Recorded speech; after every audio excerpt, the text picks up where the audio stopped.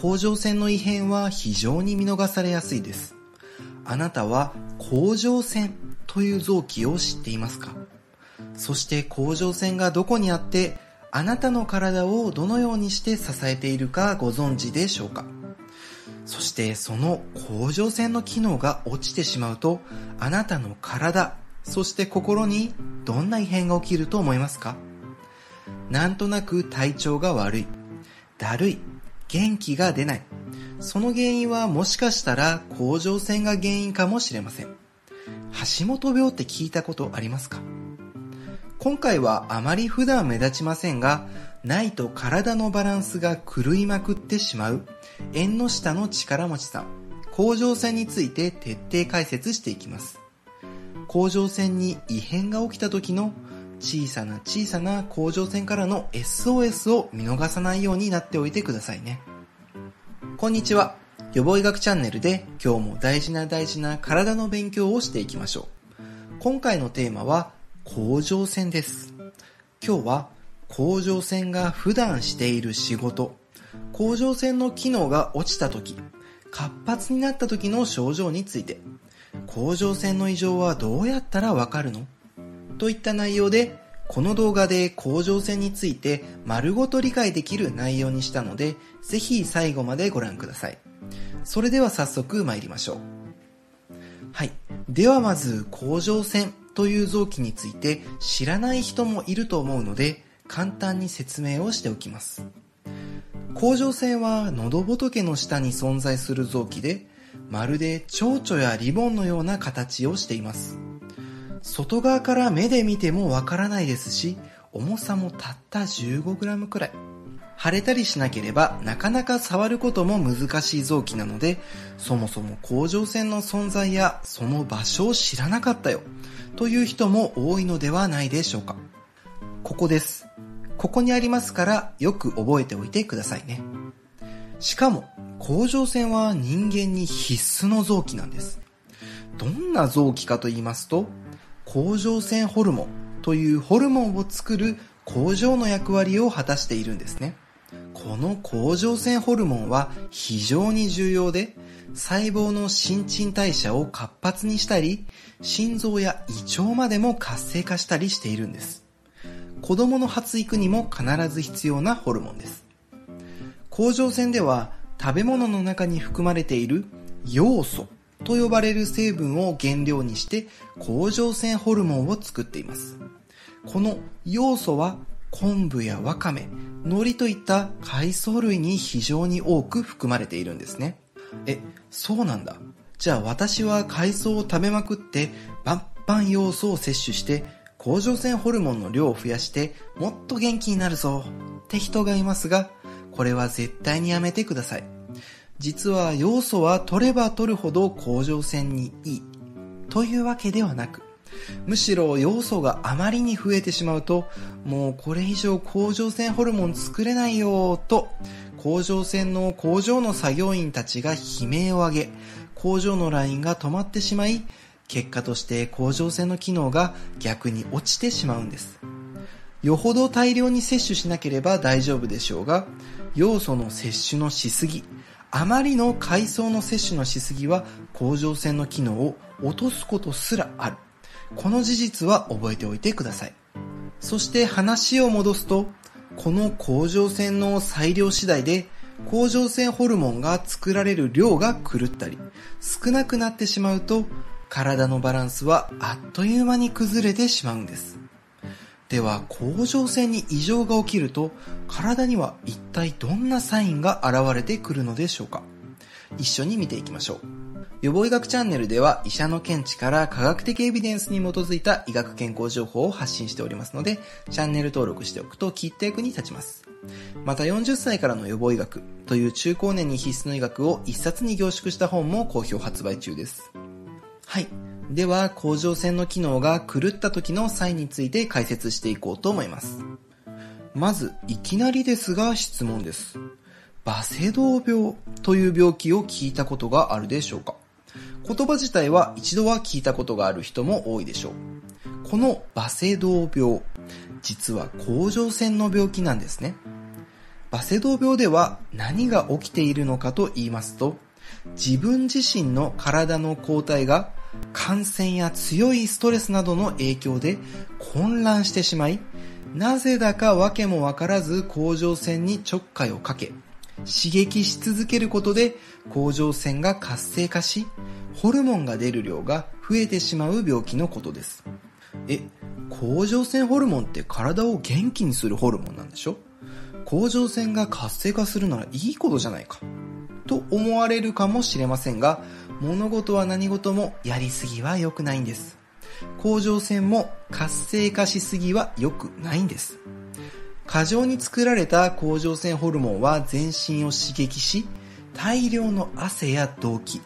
ほてりといったまさに体が活性化するがゆえの弊害を引き起こすんです。これって何かの症状に似てますよね。そう、更年期障害です。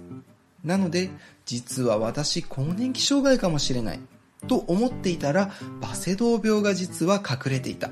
こんなケースはそんなに珍しくはないんですね。どちらもホルモンのバランスが崩れることが原因ですから、似たような症状を引き起こすんです。他にも目が飛び出たり、手が震えたり、体重が減ったりする症状が出ることがありますね。さて、では一方、甲状腺の機能が落ちてしまうと、どんな症状が起きるのでしょうか？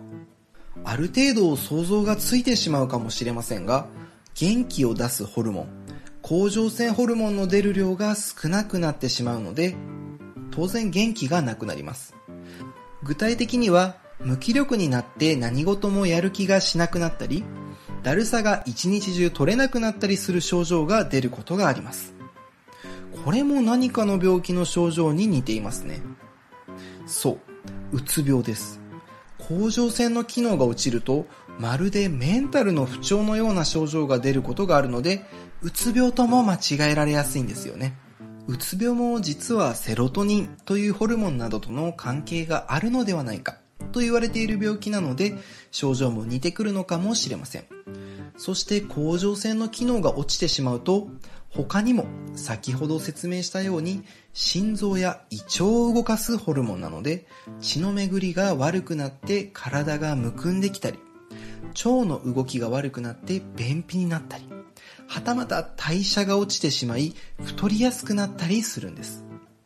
こういった症状を見るといかに甲状腺ホルモンが普段私たちの生活の中で臓器たちに葉っぱをかけエネルギーをくれているのかお分かりいただけるんじゃないかなと思います。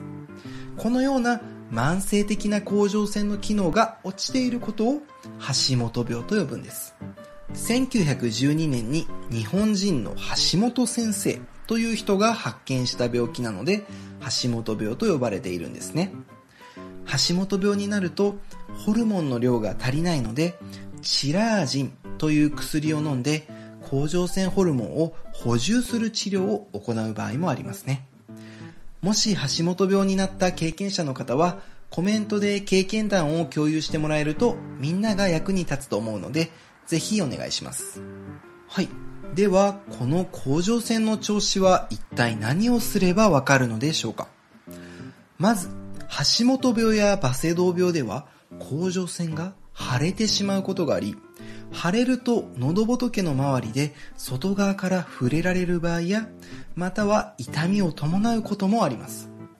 なんだか喉に変な出来物があるなぁという場合、それは甲状腺かもしれません。しかし甲状腺は喉の奥にあるので、腫れてもわからなかったり、そもそも腫れないこともあります。こういった場合は、病院では超音波の機械を喉に当てることで、喉の奥の甲状腺の大きさ、腫れているかどうかが画像でわかるんですね。そして一番わかりやすく手っ取り早いのが血液検査です。血液は私たちにいろんな臓器の調子をお知らせしてくれる体内の状態を濃密に反映する宝石のようなデータが詰まっています。皆さんは血液検査の項目で T3 とか T4 といった項目を見たことがあるでしょうか？いやー、見たことも聞いたこともないな。こういう人も多いでしょう。この T3 や T4 は血液の中に含まれる甲状腺ホルモンの数値なんですが、この項目は健康診断などでもなかなか測定されることがありませんし、一生測らずに終わってしまう人もいます。特に症状がなければまあそれでもいいんですが、今回紹介したような甲状腺が活性化したり、はたまた元気がなくなってしまったよという症状がある場合は T3 や T4 を測定してみてもいいと思います。健康診断や人間ドックのオプション検査で付けられるところもありますし、私、うつ病かもしれない。とメンタルのクリニックを受診した時は、先ほど言ったようにうつ病と橋本病は症状が似ているので血液検査で甲状腺の異常がないかまずはチェックすることが多いんです。この甲状腺ホルモンと一緒に TSH という項目も測定することが多いです。この TSH というのは脳の真ん中の下垂体というところから出ているホルモンで甲状腺に対してお尻を叩いて甲状腺ホルモンを出せと葉っぱをかける役割のホルモンなんですね。この TSH は何のために測るかというと体のどこで異変が起きているのかを確認するためなんです。もしこの TSH の数字が下がっていたら脳で何か異常が起きていて TSH が作れなくなりお尻ペンペン係の人が少なくなってしまったので甲状腺も仕事を怠けてホルモンを出していないんだろう。だから脳を調べに行く必要がある。となりますしもし TSH が普通に出ていて甲状腺ホルモンの T3 や T4 が下がっていたら甲状腺自体で炎症が起きたり何かが甲状腺で起こっている可能性があるので甲状腺の方を調べていく必要がある。すごく単純化してしまえば検査の結果を見て医者はこのように考えているんですね。橋本病は成人女性のなんと10人に1人が該当すると言われていますし甲状腺の病気については誰もが知っておいてほしい知識です。今回紹介したような症状がこれから起きた場合は喉の奥の奥の小さな甲状腺の存在を思い出してあげて症状が続くなら内科で相談するようにしてください。またホルモンについては他の動画でも紹介しておりますのでそちらも合わせてご覧ください。動画について高評価でも低評価でも構いませんので評価していただけると今後の参考になるのでぜひお願いします。それではまたの受信をお待ちしております。